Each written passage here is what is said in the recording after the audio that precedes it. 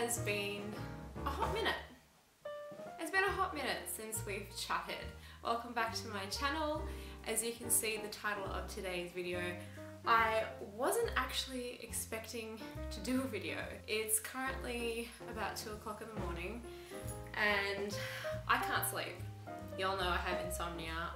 For ages I've been kind of wondering if I'll ever kind of come back to these chit chat videos or what I'm going to do kind of with my channel because I had a whole heap planned for this year but as you know this year kind of went down the toilet and I didn't get to do a lot of what I wanted to do.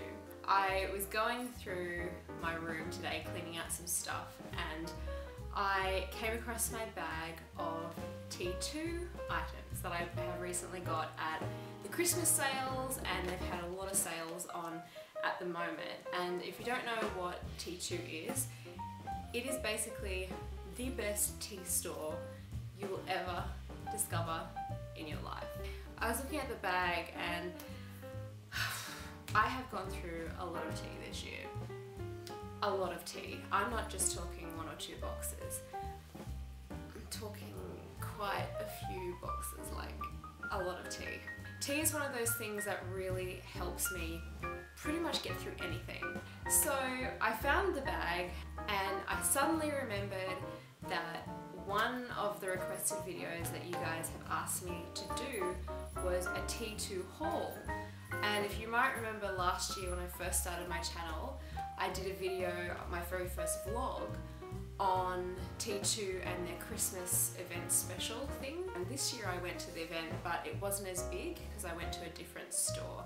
So I didn't, and I thought, oh look, I've vlogged it once, you know, I'll leave the vlogging camera at home. Anyway, I had forgotten that I promised I would do a haul this year and I was just sitting here not doing anything, not able to sleep and so I was like, I could talk about tea. Anyway, so I have my bag of goodies here and Fanta is here too. She's just running around on the floor. I realise this video isn't going to be everyone's cup of tea. wow, that's so bad. Anyway, this has been requested by a few of you, so here we go. Okay, so the first tea that I picked up from the winter collection was this gem. This is called the Milk Rose Chai. Definitely by far the best tea that T2 has brought out this year. It was absolutely amazing. Basically, it has rose petals and all the beautiful chai flavors that you know and love in regular chai tea. So you've got your cinnamon, star anise, clove, all that sort of thing with rose petals. The balance in this tea is amazing. Like it really has a good texture to it and you can make it so many different ways. Personally, like I used to get it made just as a hot tea and the girls would make it and they'd have this technique where they'd have two teapots and they'd be pouring it into the teapots to kind of aerate it and make it really creamy and give it a little bit more texture. One girl even got on a ladder and poured the tea from the ladder and someone else had another teapot down on the floor and it was just, it was hilarious. It was so funny. It was so good and honestly the flavour is robust but it's really delicate as well. I also have made this as what I call my cold brew. So basically I brew it in my T2 jug. I brew it overnight and then in the morning I pour the black tea over ice and then add some milk and sometimes I add brown sugar, uh, sometimes I add honey, sometimes I don't add anything, sometimes even a little bit of coconut sugar. Just depends what sweetener I feel like um, at the time. Highly recommend. Another one of my favourites from the winter collection this year was their spiced apple chai. This one just screamed full sweater weather. This one was fantastic around Halloween. If you're getting ready for Halloween, this was the brew that I drank when I filmed my video, the Halloween tutorial Get Ready With Me. So it's got your spicy uh, chai. So basically it's a black tea and it's got sweetly spiced apples encased in a buttery pastry. This sip is the definition of cozy. It has black tea, ginger, cinnamon, chicory root, turmeric root, so many. It's got roast. The roasted rice is really what gives it the depth of flavor. It's a really rich flavor, but it blends really well with the apple. Basically, it tastes like apple pie.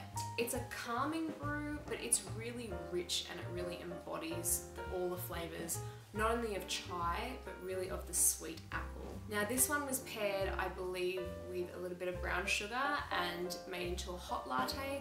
I also made it into a cold brew and it was just as good. Another one to come out of the chai collection. Oh man, if you have tried this, you will know what I mean when I say winter, cozy, for Americans, Christmas, but for Aussies, fires and just snuggly weather. This is the Cinnamon Star Loose Leaf Tea. This tea tastes exactly like cinnamon rolls. I try to make cinnamon rolls on the first day of winter every single year and the last two years I've actually been in hospital on the 1st of June and I've never just got around to making them but it's kind of been a tradition of mine to make freshly made cinnamon rolls and I mean like kneading the dough, adding the yeast, all that sort of thing from scratch. Honestly, it tastes exactly the same. There are so many good ingredients in here. It has caramel pieces, cacao nibs, raisins, currants, cardamom, cinnamon. When I read the back of the ingredients list, I, I said to my girl at the store I go to, I'm like, come on, this is just gonna taste like cinnamon water, isn't it? And she's like, no, let me make it for you properly. And she made it with brown sugar and she did the jug trick. Honestly, I was dead. I'm like, sign me up for two boxes because that is insane. And there's just something about it paired with warm milk and it's just a really, yet another cozy brew. T2 was really on fire, I found with their winter teas this year. They absolutely nailed it. This tea was one that it had to grow on me. At first when I tried it, I had to think about it and I had a sample of it and I was like, hmm, I wasn't too sure about it. And this was the choc pear pudding. I tried a sample of it because when you go into the store you can try samples of tea and yeah, that in itself is amazing. They have like a bar where you can have your tea. I tried a sample of it, I wasn't convinced. And the girl said to me, she's like, what do you think? And I said, mm, it tastes a bit fake. It doesn't taste all that, you know, it's not as good as the milk rose chai or anything like that. And she said, She made me a fresh brew and made it with, I think it was honey and she made it slightly stronger and then added a little bit more milk to it drop dead. I don't know how she did it, but honestly, she made it amazing. I asked her for the recipe, she gave it to me, and I've been drinking it ever since. Choc pear pudding literally does actually taste like a chocolate pear pudding. Black tea, cocoa beans, hazelnut, brittle pieces, apple, chocolate drops, and pear. You don't normally think of pairing chocolate and pear together, I certainly wouldn't. Something that I imagine having after dinner. I haven't tried it iced yet, but this pack was really cool because it also came with a little tea strainer and I don't know if you can see, but it comes with a little tea strainer with a little teapot at the bottom. Cute. So if you have a teapot, you can dangle it in. That's what the tea looks like. I should probably show you what the tea looks like, hey? And actually, this is something that I'm going to ask you guys if you want to see. If you want to see a demonstration of how I make my tea, I can also do that as well. The last tea as part of the winter collection was amazing, very delicate, very smooth, very velvety, and that was the Boho Rose. This is a completely different tea to the Milk Rose Chai. This doesn't have the spices that go along with the Milk Rose Chai. This is a very clean brew, I found. It's sweet, it's subtle, it's floral, but it's really delicate. It's a gorgeous pink colour when you make it, so the milk turns it pink, which is awesome.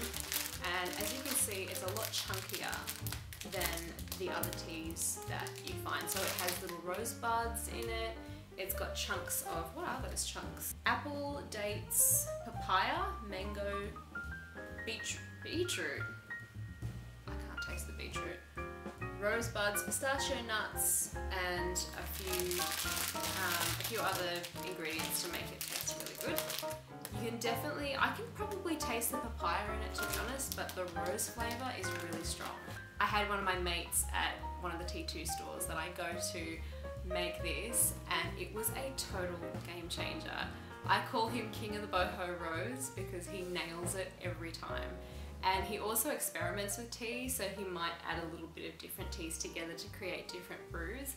And every time I see him, he's like, Kate, Kate, I've got another brew for you, I've got another brew, let me make you a tea. And he just seemed to nail the ratio with this one. And I know that he watches my videos so g'day Boho Rose King, you rock and keep making this because it's awesome. The next thing I want to talk about is the T2 Christmas collection. Now every year T2 come up with a theme for Christmas and this is something that has been a tradition at T2 for many many years and each year the theme just gets better and better and this year was certainly no exception. So this year the theme was stories and fairy tales. So each tea, there was about three teas and each tea comes in its own little box and when you open the box it's shaped like a book and when you open the lid of the box it has a story. You probably can't see it because it's quite faded but it each has its own little fairy tale story to go along with the tea and as you can see that's the tea in there. Now this tea that I got was called a trifle delicious and when I first read about this online when they announced it I was like trifle flavoured tea? Are you kidding? Blech. I'm not a trifle person myself. My nan used to make trifle and God bless her cotton socks. I would eat it of course and never say anything to her but I was gagging on the inside. I, it wasn't her cooking, it was just, I don't know, it was just the textures of it all together and all the flavours. I just didn't like it, it just wasn't my thing. So when I saw that it was you know, trifle, I was so hesitant to try it, but of course you're gonna try it. One sip, dead. How the hell can they replicate tea that tastes like trifle? And I know I keep saying this in the video, but I can't quite express to you just how much their teas taste like what they say they are. It's unbelievable, it's so good, it's so tasty, and it's a mix of like berry flavors, like what is in here? Apple, grapes, black chokeberry, beetroot, elderberries, white chocolate. White chocolate, yeah, well, no wonder I liked it. Sugar, um, strawberries, hibiscus, natural and artificial flavors, carob, black currants, blueberries, raspberries, and red currants. Oh, yum, so delicious. So they made us a mocktail out of this as well and they made it with like lemonade and milk and they put fresh blueberries in there it was absolute heaven. You get the real vanilla creamy um, like velvet taste that comes with trifle, like the custard flavour, but you also get the berries and like the jelly. It does taste like jelly. Oh, you could actually make a really epic jelly out of this. My mum's best friends came over for lunch the other week and I decided to make a mocktail for them on arrival and so I made the blueberry mocktail and it went down really well. I really enjoyed it. And my mum's best friend said to me, you could turn this into a smoothie. If you add a bit of ice cream or a bit of yogurt or something, it would put it right over the edge.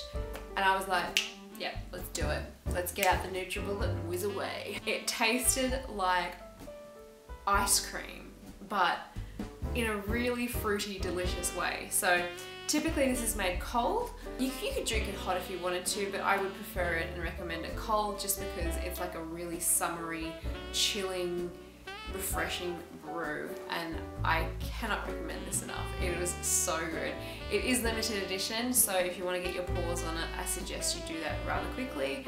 It's available on the website and also in T2 stores. I am a sucker for mugs. I'm a sucker for especially to go flasks, so takeaway flasks and like takeaway cups because when I'm well, obviously not when I'm sick, but when I'm well or even when I'm in hospital, I always take tea with me wherever I go. So I have to take my tea in a container. Now, I fell in love with this container when I first saw it and I haven't even opened it yet. That's how new it is. And check out this paper. The paper that they wrap it in actually matches the theme of the storytelling theme for Christmas. It's so cute. I love it. It's a rainbow flask and it is so many different colors. It changes in the light depending on what light you're in. It completely just is I don't know like it. I, lo I love anything rainbow and colourful and bright. You can never have too many tea canisters in my opinion. And the cool part about this is that it keeps the tea hot for, they say 8 hours. I've actually tested this and mine stayed hot for 16 hours because when I babysit, your girl needs a really strong brew because those godsons of mine wear me out. So um, I need a strong brew. Basically it comes with a tea insert.